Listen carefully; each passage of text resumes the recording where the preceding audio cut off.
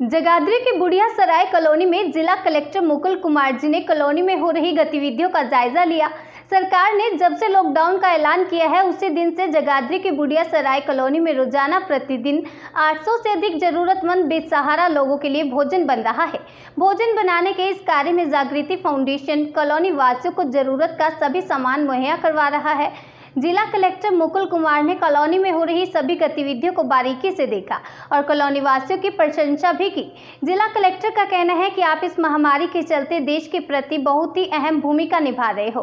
Colony में mask बनाने का कार्य भी बड़े जोरों शोरों से चल रहा है।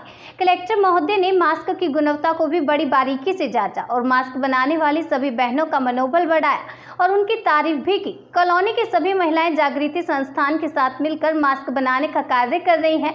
उन्होंने अभी तक 8000 मास्क तैयार कर दिए हैं और उनका कहना है कि उन्हें अभी और 10000 से अधिक मास्क बनाने का कार्य करना है, ताकि मास्क जरूरतमंद लोगों तक पहुँचाए जा सके। कॉलोनी की महिलाओं ने कुछ मास्क के पैकेट कलेक्टर महोदय को भी दिए। मास्क बनाने के इस कार्य में रीना, चारू, सुमन, शशि पूजा अपना बढ़ चढ़कर योगदान दे रही हैं। कलेक्टर महोदय ने कॉलोनी में बन रहे भोजन की गुणवत्ता की भी जाँच की और भोजन बनाने के कार्य को बहुत ही सराहनीय बताया और भोजन बनाने वाले सभी भाइयों की प्रशंसा भी की। सभी कॉलोनी वासियों का कहना है कि अभी और आगे भविष्य में भी समाज में होने वाले सभी सामाजिक कार्यों में वह हिस्सा लेंगे और उसको पूर्ण करेंगे। इस सराहनीय कार्य में माननीय गौतम गर्ग जी, सुरेंद्र शर्मा, चिराग अरोड़ा, राजन साहनी, राकेश अरोड़ा, विशाल कुमार जी भी मौजूद थे। जगाधरी से हर्ष राणा की रिपोर्ट।